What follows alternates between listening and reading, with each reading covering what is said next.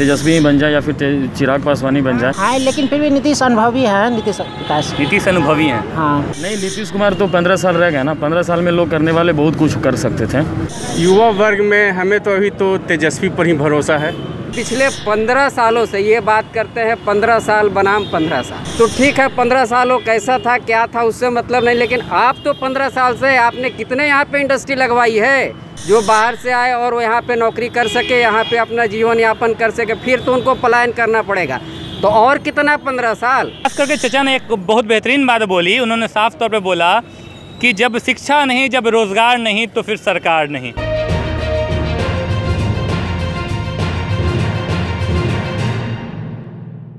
बिहार विधानसभा चुनाव का बिगुल बज चुका है। चुनाव की तारीख आ चुकी है। पहला चरण चुनाव होने वाला है। इसमें कश्मकश ये है कि सीएम उम्मीदवार होंगे कौन? आइए जनता से भी राय जानेंगे कि सीएम उम्मीदवार कौन होंगे।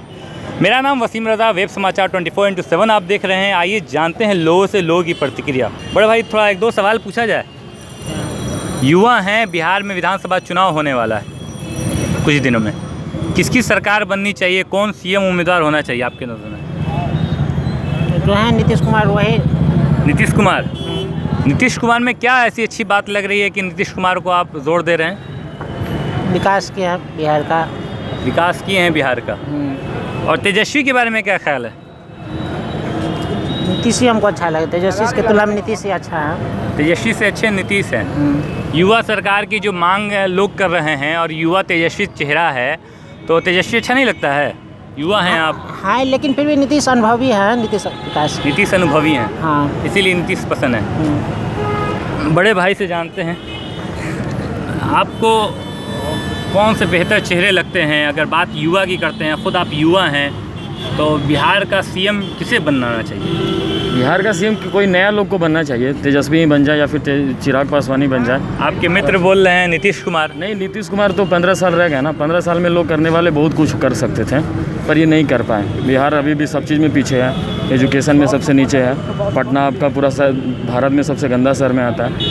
और तो पंद्रह साल में ये करने को कर सकते थे पर ये नहीं कर पाए। और हम लोग बोल नहीं सकते हैं ना कि तेजस्वी खराब है या फिर उनके पार्टी को जंगल रास्ता है कुछ नहीं बोल सकते हैं। नया लोग हैं वो कुछ कर सकते हैं। नीति पंद्रह साल इनको दे दिया पंद्रह साल लालू जी को दे दिया। कुछ नया चेहरा को आना चाहिए ताकि अजमाने पे होता है ना लोग कौन नया लोग है। जिस तरीके से तेजस्वी नया चेहरा है चिराग पासवान भी युवा हैं और नया चेहरा है उनके बारे में ख्याल नहीं आता है? वही तो बोले चिराग पासवान बन जाए या फिर तेजस्वी बन जाए कोई भी बन जाए पर ये नीतीश कुमार नहीं बनना चाहिए। नीतीश कुमार नहीं बनना हाँ, चाहिए। पंद्रह साल में कर सकते थे कुछ भी पर क्या नाम हुआ सर आपका? मेरा नाम कुमार सानू है। कुमार साहब कह रहे हैं कि कोई कोई बना दीजिए। फ़िलहाल नीतीश कुमार को मत बनाइए। पंद्रह साल राज कर चुके हैं और इतना काफ़ी है विकास कुछ खास नज़र नहीं आया। बुज़ुर्ग चचा बैठे हैं। चचा तो नहीं हमारे? सर नमस्कार। नमस्कार सर। बिहार में चुनाव होने वाला है। जी जी। आप कहाँ के रहने वाले हैं?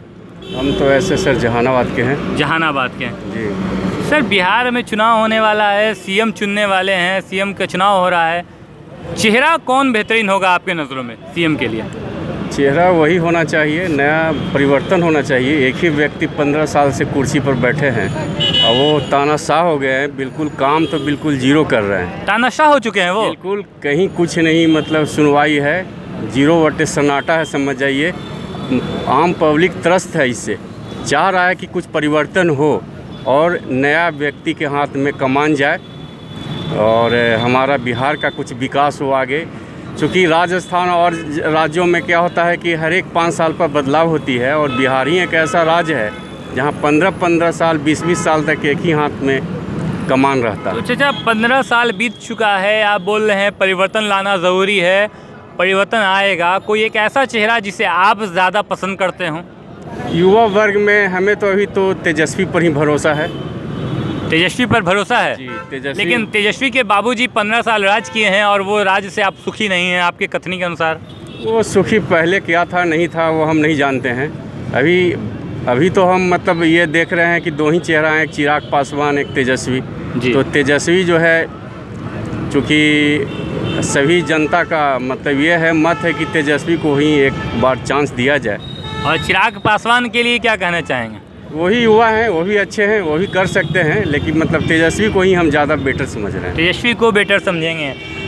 नाम क्या हुआ था सर आपका? सुनील कुमार। सुनील जी ने कहा कि तेजस्वी ही बेहतरीन चेहरा है खासकर अगर बात करते हैं विकास की तो विकास हमें नज़र नहीं आया है पंद्रह सालों में। खास के बात विकास की विकास पुरुष जिसे माना जाता है लोग मानते थे नीतीश कुमार की तो उनके लिए ये शब्द नज़र आए। आइए और भी जानते हैं लोगों से। सर नमस्कार सर। कुछ खास खोज रहे हैं क्या? नहीं कुछ नहीं डॉक्टर को ढूंढ रहे हैं। अच्छा क्या आप डॉक्टर खोज रहे हैं? सर बिहार विधानसभा चुनाव होने वाला है। हाँ जी। सीएम किसे बनाइएगा? मुझे तो कोई खास चेहरा दिख नहीं रहा है। कोई चेहरा ही नहीं दिख रहा है। तो बिहार विधानसभा चुनाव में लगभग लगभग 12-13 पार्टी भाग ले रही है। 12-13 पार्टियों में कोई ऐसा नहीं चेहरा नज़र आ रहा है। वो सही है लेकिन नीतीश कुमार के उसमें वो आप दूसरा एक जो कंटेस्टेंट है वो तेजस्वी यादव है। आपको तीसरा ऑप्शन तो कोई दिख नहीं रहा है। इन्हीं दो में से कुछ चुन चिराग पासवान? वो तो कैंडिडेट है नहीं सीएम का। सीएम केस है नहीं अभी। तो राष्ट्रीय अध्यक्ष तो है ना लोजपा के वो? वो तो बीजेपी के साथ लड़ रहा है ना। नहीं बीजेपी के साथ कहाँ लड़ रहे हैं? बीजेपी के साथ तो एनडीए में सिर्फ़ और सिर्फ़ जदयू और बीजेपी है। एलजेपी ने तो साफ़ बोल दिया है कि वो चुनाव अलग लड़ेगी। ओके। ठीक है अभी तो मैं देख रहा हूँ कि मेरे हिसाब से तो जो काम किया है नीतीश जी ने पंद्रह साल में सफिशेंट तो नहीं कहेंगे लेकिन ठीक ठाक है। सफिशेंट नहीं कहेंगे लेकिन ठीक ठाक है मतलब मिला जुला कर बराबर है ना? ये पुरानी कहावत है कि मिला जुला के बराबर है। देखिए यहाँ पे भी एक दो चचा हैं। नमस्कार सर। जी नमस्कार बोलिए। सर जिस तरीके से आपकी आवाज़ बुलंद है उसी आवाज़ बुलंद में एक और बात हो जाए कि बिहार का सीएम कौन होगा? देखिए बिहार का सीएम तो यहाँ की जनता डिसाइड करेगी। जी आप मैं एक जनता हैं। आप जी मैं अगर अगर मेरी मेरी बात अगर की जाए तो जहाँ तक मैं समझता हूँ कि अब दूसरे को मौका देना चाहिए। अब दूसरे को मौका देना चाहिए। बिल्कुल बिल्कुल देना चाहिए क्योंकि अभी आपने देखा जितने रिटर्न हो रहे थे लॉकडाउन पीरियड में मजदूर भाई बहन हमारे उनके लिए क्या व्यवस्था की गई? इन्होंने कहने के लिए बाद में बहुत बातें बनाई कि हमने ये व्यवस्था कर दिया वो व्यवस्था कर दिया लेकिन सच्चाई ये थी कि कैसे पैदल हमारे मजदूर भाई बहन बाहर से आ रहे थे कितने ने रास्ते में दम तोड़ दिया। और कितना वो बच्चों का आपने देखा होगा कि ट्रॉली पे सोते हुए बच्चा आ रहा है प्लेटफॉर्म पे बहुत सारे मजदूर भाई बहन कट गए। इसके अलावा यहाँ पे मेन मुद्दा जो होना चाहिए, वो शिक्षा का होना चाहिए, रोज़गार का होना चाहिए, जो कि बिल्कुल नहीं है। आपको सच्चाई बताऊँ कि सरकारी विद्यालयों में जहाँ पे बच्चों को पढ़ाने की व्यवस्था हमारी सरकार ने करके रखी है, वहाँ पढ़ाई नहीं होती है। ये सच्चाई है, बिल्कुल सच्चाई है। और दूसरी चीज़, रोज़गार देखिए, सभी लोग, ये लॉकडाउन जब से चालू हुआ तब से कितने लोग बेकार हो गए? उनके लिए कोई व्यवस्था नहीं की गई। पिछले पंद्रह सालों से ये बात करते हैं, पंद्रह साल बनाम पंद्रह साल। तो ठीक है, पंद्रह साल वो कैसा था, क्या था, उससे मतलब नहीं, लेकिन आप तो पंद्रह साल से आपने कितने यहाँ पे इंडस्ट्री लगवाई है? जो बाहर से आए और वो यहाँ पे नौकरी कर सके, यहाँ पे अपना जीवन यापन कर सके, फिर तो उनको पलायन करना पड़ेगा। तो और कितना पंद्रह साल? क्या ये आप हमेशा के लिए पंद्रह पंद्रह साल करके यानी टर्न को बढ़ाते रहेंगे, लेकिन करेंगे कुछ नहीं। इसलिए मेरा विचार है कि इस बार बदलाव होना ज़रूरी है। बदलाव में कौन से चेहरे आपको बेहतरीन लगते हैं? चेहरे के तौर पर तेजस्वी यादव हैं चिराग पासवान हैं उपेंद्र कुशवाहा हैं। पटना की धरती पर सबसे ज़्यादा कष्ट झेल कर लोगों के बीच रहने वाले पप्पू यादव भी मौजूद हैं। कौन बेहतरीन होंगे सीएम के उम्मीदवार? देखिए मेरे विचार से तो आज के डेट में अगर कहा जाए तो चिराग पासवान भी जो है, वो भी एक अच्छा मुद्दा लेकर के चल रहे हैं फ़र्स्ट बिहार, फ़र्स्ट बिहारी, शायद ऐसा उनका मुद्दा है। वो भी चेहरा अच्छे हैं, बट कैसा है कि इतने सालों से पंद्रह साल मौका दिया गया है तो इस बार मुझे लगता है कि तेजस्वी यादव को भी मौका देना चाहिए, क्योंकि वो एक नौजवान है। ठीक है, पुराने लोगों ने क्या किया है, नहीं किया है, उस पर मैं बहुत ज़्यादा नहीं कहना चाहूँगा, लेकिन एक मौका देना चाहिए, क्योंकि ये रोज़गार की भी बात कर रहे हैं। बहुत सारे लोग ये बोलते हैं कि वो खुद पढ़े लिखे नहीं है तो क्या रोज़गार देंगे। तो मेरा कहना है कि सारी व्यवस्था तो वही करके रखे हैं। कौन से हमारे देश के प्रधानमंत्री पढ़े लिखे का सर्टिफिकेट बताए लोगों को? या बाकी ऐसी व्यवस्था है? मतलब अगर बात करती हैं शिक्षा की तो आप लोगों को शिक्षा में सबसे बड़ा आइडियल पर्सन नरेंद्र मोदी नज़र आ जाते हैं कि उनके पास सर्टिफिकेट नहीं तो तेजस्वी से क्यों मांगा जाएगा? जी ऐसा मैं नहीं कहना चाहूँगा। ऐसे बहुत सारे लोग हैं। अभी आप देखिए कि जो हमारा ये गठबंधन, नीतीश कुमार जी का जो गठबंधन है, उसमें माझी जी को जो भी सीटें दिए, उनमें जितने हैं उनके पूरे परिवार वाले हैं, या जो भी आप उठा करके देखिएगा तो उसमें भी अनपढ़, क्या बोलते हैं, साक्षर करके और बहुत सारे लोग ऐसा नॉमिनेट किए हैं जो अपने आप को आठवीं पास नौवीं फेल, या साक्षर करके ऐसा बहुत सारे लोग डिक्लेयर किए हैं। ठीक है, नीतीश कुमार जी एक इंजीनियर है सोशल इंजीनियर है, बहुत बढ़िया इंजीनियरिंग कर रहे हैं। जट गठजोड़ करते रहते हैं कभी इधर पलटी मारते हैं कभी उधर पलटी मारते हैं और भरोसा नहीं है फिर कब पलटी मारेंगे। इसलिए यह पलटी मारने वाला जो सिस्टम है बिल्कुल ठीक नहीं है। शुभ नाम चचा आपका? जी मैं मानवेंद्र गुप्ता बोल रहा हूँ देखिए गुप्ता जी ने साफ़ तौर पर बता दिया कि पलटू चचा पे भरोसा नहीं है कभी भी कहीं भी पलट सकते हैं। उधर चचा भी हैं इधर नौजवान भी हैं। खास करके चचा ने एक बहुत बेहतरीन बात बोली उन्होंने साफ़ तौर पर बोला कि जब शिक्षा नहीं जब रोज़गार नहीं तो फिर सरकार नहीं। बड़े भाई सर एक मिनट एक शिक्षा पे और आप जोड़ना चाहूँगा। जी, जी, इन्होंने पूरी शिक्षा को जो व्यवस्था लागू किया है इसमें शिक्षकों को इन्होंने पूरे कॉन्ट्रैक्ट पे डाल दिया। आप बताइए कॉन्ट्रैक्ट पे क्या रिज़ल्ट आएगा? जो पुराने टीचर थे शिक्षक की बहाली की जो प्रक्रिया थी, वो सारे चीज़ को बंद कर दिया इन्होंने।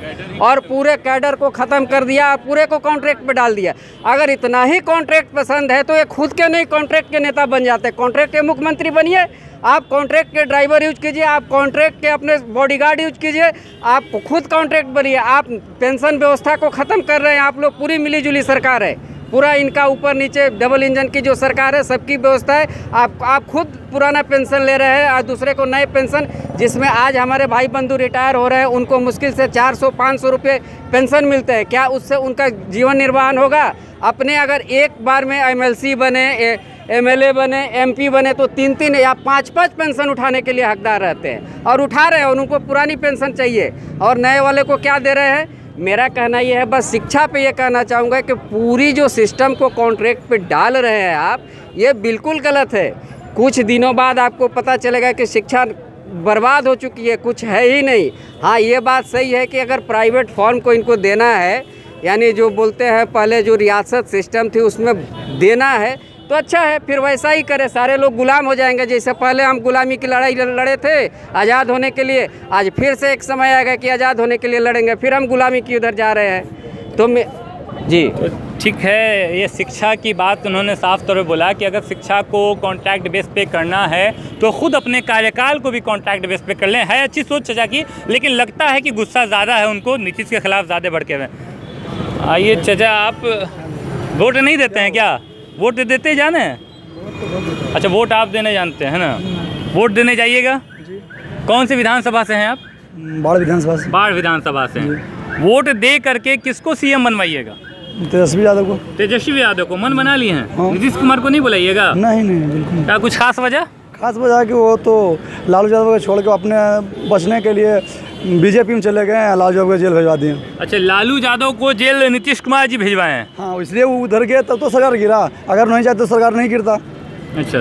जी बिल्कुल है। तो ये तेजस्वी मतलब मन बना लिए हैं कि तेजस्वी को बनवाना है? कि युवा में और कोई सोच और कोई चेहरा अच्छा नहीं लग रहा है आपको? फ़िलहाल अभी एक मौका तेजस्वी यादव को दिया जाएगा। तेजस्वी यादव को दिया जाएगा? जी। तेजस्वी यादव को एक मौका और दिया जाएगा एक मौका दिया जाएगा। इससे पहले उनको जनता ने चुनकर उप मुख्यमंत्री बनाया था। अ, सर काफ़ी बोलने का मन कर रहा है? नहीं। सर सरकार बदलने वाली है। चुनाव आ चुका है। वोट देने जाइएगा। किसको सीएम बनवाइएगा? तेजस्वी यादव। तेजस्वी यादव को? हम फुल ऑन है। हम मन बना लिए एकदम। नीतीश को यहाँ देख रहे हैं हम लोग जहाँ पर बुद्ध स्मृति पार्क पटना के पास हम लोग मौजूद हैं। यहाँ जितनों की भी राय है लगभग उन उस उनमें से नीतीश के खिलाफ में ही सब ज़्यादा बोल रहे हैं। ऐसी क्या बात हो गई कि नीतीश को लोग इतना नापसंद करने लगे? गवर्नमेंट तो ठीक है चला रही है सही लेकिन कुछ अगले को भी मौका देना चाहिए युवा वर्ग को भी थोड़ा मौका देना चाहिए। युवा वर्ग को मौका देना चाहिए। युवा में तो चिराग पासवान भी हैं। नहीं उससे ज़्यादा यहाँ उनका था अच्छा तेजस्वी यादव को बनाने की चाहत में हैं आप। तो ये देखिए आप किस तरीके से यहाँ जो युवा भी हैं वो भी यहाँ मौजूद हैं। लेकिन युवा शायद अभी मतदान केंद्र नहीं पहुँच पाए इसलिए भाग रहे हैं। खैर बात यहाँ थी बिहार में चुनाव होने वाला है। सीएम किसको बनाएँगे? तो अधिकांश लोगों की ये राय थी कि तेजस्वी यादव को ही मुख्यमंत्री के तौर पे देखना पसंद करेंगे। वजह ये भी थी कि लोग यहाँ पे चचा बताएँ जिस तरीके से कि ना शिक्षा, ना रोज़गार तो फिर काहे का नीतीश सरकार। ऐसी ख़ास अपडेट्स के लिए वेब समाचार से जुड़े रहिए। वेब समाचार 24 फोर इंटू सेवन में आपका धन्यवाद।